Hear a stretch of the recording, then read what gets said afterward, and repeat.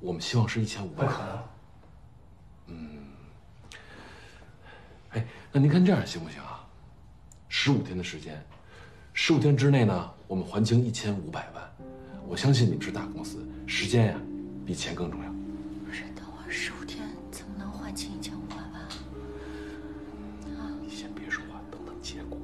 不，你都不能这么提。啊，我们请示一下领导。哦，呃，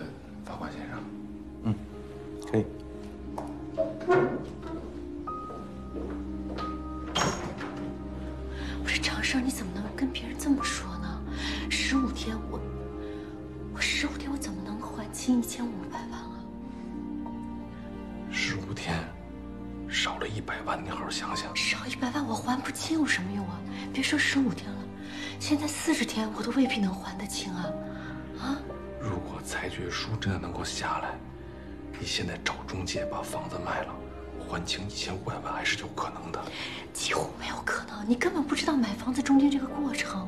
我我就算我找中介，我我托人，这个别人还得看上我的房子，而且关键是这个人还得有一千五百万现金，马上能给我，这这不是开玩笑吗？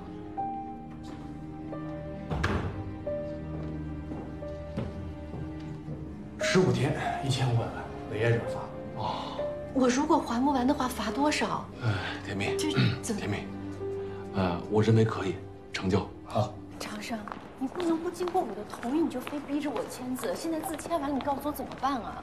你别走了，我问你呢。少了二十五天，我给你省了一百万，你说你签不签字啊？我知道你是为我好，可是我完不成啊，十五天。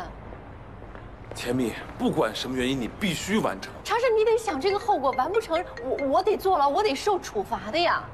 喂，哎，杜先生，啊，这样，我一个小时左右到。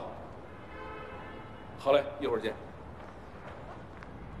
甜蜜，我只能说呀，不管做什么事，先得学会靠自己。如果你真的不行了，我可以出马，但是现在我要去见客户了。祝你好运。我